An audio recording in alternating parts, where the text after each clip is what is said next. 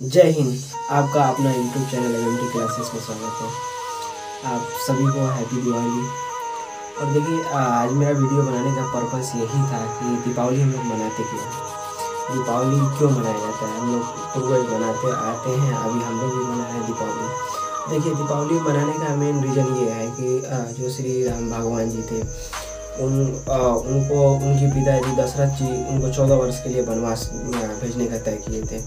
अपनी तीसरी पत्नी माता कैकेयी के कहने पे।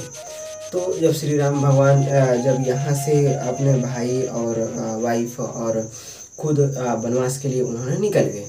तो निकले तो जो अयोध्या वासी जो थे, उनसे बहुत ज़्यादा काफ़ी मोहब्बत करते थे। तो जब उन्होंने चौदह वर्ष वनवास काटा और बहुत सारी घटनाएँ घटी, जिसमें मुख्य घटना रावण की वध हुई, फिर उन्होंने जब रिटर्न आया अयोध्या तो बहुत सारे वहाँ पे जनता जो खुश हुई, खुश होने के बाद उन्होंने उनके आगमन में एक दिए जलाया गया।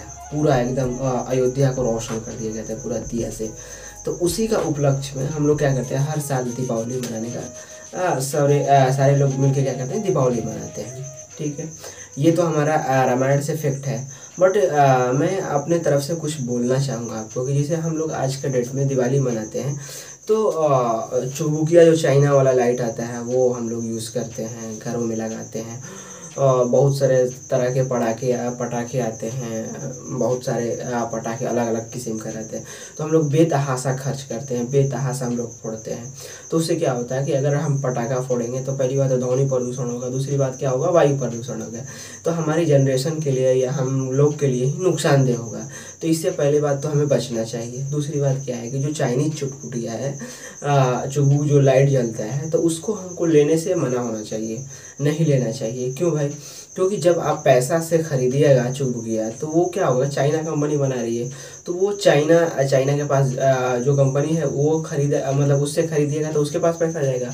वो कंपनी क्या करेगी? अपने जो मेन बॉस है चाइना चाइना के पास अपने देश में वो सप्लाई कर देगी पैसा। तो हमारे देश का पैसा वो चाइना में चला जाएगा। तो फिर वो चाइना वाले क्या एक्चुअली दिवाली मनाते हैं? हम लोग की दिवाली निकल जाती है। तो हम तो सबसे यही नम्र निवेदन करेंगे कि सब लोग जो कुहार होते हैं, जो दिए बहुत अपने हाथों से सुंदर सुंदर बनाए रहते हैं, उसको खरीदिए और घी डाल के, देसी घी डाल के उसको जलाइए और घर को अपने रोशन करिए और खुशियाँ मनाइए। ताकि जब आप दिए खरीदिएगा कुहार के घर से तो उसके पास पैसा चला जाएगा। आप खरीदिएगा, उसको पैसा दीजिएगा। तो इससे ये होगा कि उनके पास पैसा चला जाएगा तो उनकी भी खुशी से वो दिवाली बना सकते हैं। या कोई चीज़ काम होता है, वो अपना काम कर लेंगे उसी पैसे से। तो आप लोग हम हर की जैसा ना करिए कि जो चाइनीज़ है, वो चीज़ मत खरीदिए। और जो कोहार के घर से जो दिया होता है, उसी को आप लोग खरीदिए, उसी को यूज़ करिए। चलिए चलते हैं, ओके। जय हिंद।